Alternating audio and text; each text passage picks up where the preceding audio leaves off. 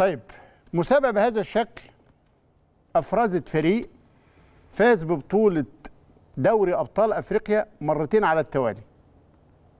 في إنجاز غير مسبوق وأعتقد ال main target أو الهدف الأساسي الكبير اللي جاي للنادي الأهلي هو تحقيق الثلاثية في دوري الأبطال عشان يكون ده دي الثلاثية الإعجازية اللي الأهلي نفسه ما عملهاش.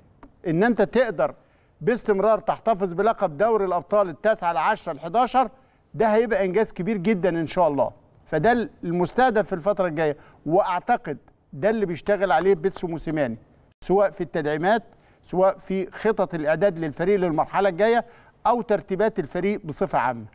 موسيماني حظي بثقة وتقدير كبير جدا من كل الخبراء والمحللين لكن الحقيقة الراجل ناس كتيرة غاوية تتعامل معاه بالقطعه الناس اللي ما كانتش بالعة نجاح التجربة فضلت لابدة في الذره ومستنياله اي مباراة تبص تلاقيه طالع ينتقد في اختيارات موسيماني ينتقد في سياسة موسيماني في تغييرات موسيماني لأنه من الأصل مش بالعه أو مش بالع الفكرة أو مش عايز ينجح قرار الأهلي واختيار الخطيب.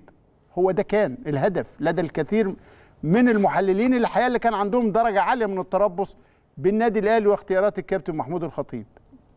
لكن حتى مع ابتعاد الفريق بنسبة كبيرة جدا عن بطولة الدوري يلقى موسيماني ثقة وتقدير الناس اللي فاهمة ومنهم الأستاذ حسن المسخاوي يعني طبعاً، برضه طبعاً. فكرة إن أنت تبقى طول الوقت ده جايب آخر الدواسة ذهنيا وبدنيا ونفسيا وبتخرج من كل بطولة طبعاً. تخش على بطولة بس أنا دي برضه. آه، بس أنا يا تحدي صعب يعني أنا يا إبراهيم أنا يعني مش معقول ابدا إحنا نشوف مدرب كان كويس وجاب بطولة واثنين وثلاثة وبعدين فجأة بيبقى المدرب ما ده عندوش فكرة.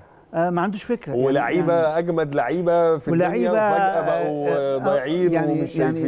يعني. يعني, يعني مفيش حاجة اسمها كده. الحاجات دي لا لازم نبص كده بعمق شوية وبتحليل. لو انت بتحلل سيبك الجمهور ليه عواطف وليه قلب وبيتكلم بعواطفه وبقلبه لكن لا يجوز ابدا إن إحنا بنيجي نتكلم على ماتش في في تلفزيون أو في برنامج فنقول الأهلي وحش الأهلي مش عارف إيه الأهلي الأهلي لا لا. لأن في أسباب على مدى الموسم خلت الأهلي يفقد 12 نقطة أو الأهلي فقد فيهم 12 نقطة. لكن هل السباق انتهى؟ لا, لسه طبعا السباق لسه, مستمر لسه طبعا بتحسم البطولة لما يبقى حسابيا خلاص انت لو. كسبت كل ماتشاتك انت مش هتكسب بالظبط. البطولة هو طبعا الكابتن حسن أستاذ إبراهيم سألوه السؤال موضوعي يعني وكابتن حسن لمس على آه، يعني إن لا يمكن يكون التقييم ان الناجح جدا جدا جدا فجأة بقى فاشل ها؟ أو إن هناك أسباب لعدم تحقيق المنجز بالشكل اللي الناس عايزاه. مش مش بالعواطف ولكن بالظروف. وألمح إلى الإرهاق و و و و. وألمح بقى إلى نقطة هنا بالمرة البرامج اللي بتنتقد وبتتربص بموسيماني أو بالنادي الأهلي. أيوه. وهنا يعني الناس مستاءة من بق... من من حاجات محددة. فلان وفلان وفلان اللي ما بيصدقوا يلاقوا حاجة يلقحوا على النادي الأهلي أو يهاجموه. وهنا لابد أن نشيد بأصحاب القرار في قنوات الناس دي اللي بتحاسب. إلى درجة إنها بتوقف البعض وبتنبه على البعض الآخر و... ما هو لازم وإلا الدنيا هتنفلت. ما ينفعش يا جماعة إن إحنا نسيب الدنيا كده للأهواء لأن أنت ما أنتش عارف كل واحد بيتكلم وضميره فيه إيه. فالموضوعيين هيناقشوا الموضوعية خلاص.